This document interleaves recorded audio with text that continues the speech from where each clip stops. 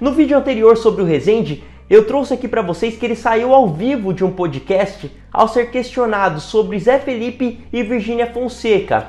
Bom, ele voltou depois e disse que era uma trollagem, mas isso foi nada mais, nada menos do que uma estratégia genial para ele não entrar no assunto sobre os dois. Ele simplesmente decidiu ignorá-los, porque quando Zé Felipe e Virgínia foram no Podpah, eles falaram muito mal do Rezende. Só que o Rezende voltando lá foi pleno, meus amigos, e ao tocarem no nome deles, simplesmente ele saiu do programa e voltou depois dizendo que era uma trollagem. Porém, depois dele ter voltado, ele falou sobre o Zé Felipe e ele mandou uma baita de uma indireta.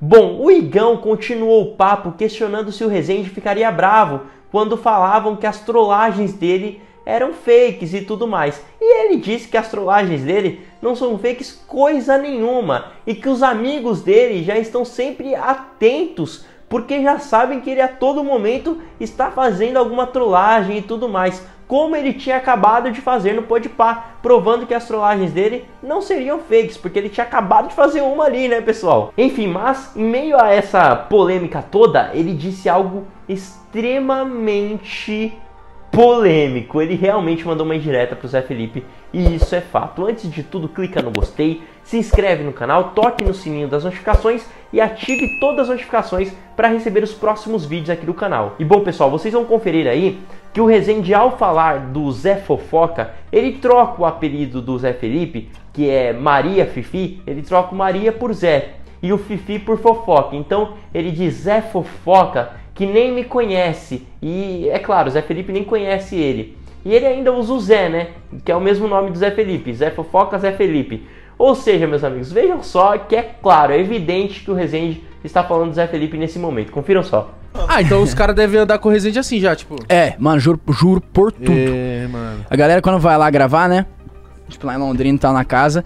Eu já chego no, no primeiro dia eu já falo assim, ó, mano, fica fica ligeira, né? Tipo assim, porque às vezes pode estar tá dormindo e tal, parece um bicho lá, parece não sei o que.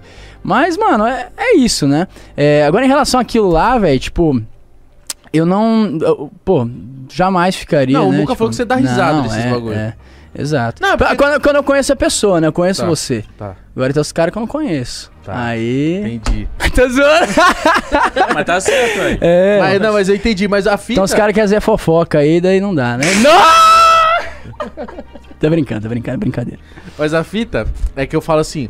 As caras mentiram, eu falei, é, mano, lá os caras caçam fantasma e toda hora é trollagem. aí eu zoando só. Aí, aí os caras começaram a mandar na minha DM, eu falei, puta, eu vou falar com o Muca, mano. Aí o Muca falou, não, Não, pelo esquece, amor de Deus, nem brisa Esquece. nisso. Aí, mano, um dia você não vai conseguir dar uma notícia séria, hein, mano. É, é aquela. Tem um ditado, né? Do, do molequinho que fala do jacaré, do jacaré, do jacaré. Uma hora era o jacaré mesmo. Aí Então. aí lascava. Não, Vamos torcer já- pro que jacaré nunca chegue. Cara, eu adorei a forma como o Rezende falou do Zé Felipe aí, porque diferente do, do Zé, o Rezende expôs uma classe. Ele falou ali com plenitude total, sem tocar no nome de ninguém, sendo uma pessoa intocável para aqueles que falam mal dele. Bom, comentem aí suas opiniões, eu achei genial, o Rezende realmente ele tá aí no auge, tá aí com muita grana, tá aí famoso porque merece, né, gente? Então comentem aí suas opiniões. Não se esqueçam de me seguir no Instagram, Oficial. E além do mais, continuem inscritos e com o sininho ativado aqui no canal para receberem todos os próximos vídeos. Até a próxima, meus amigos, e tchau!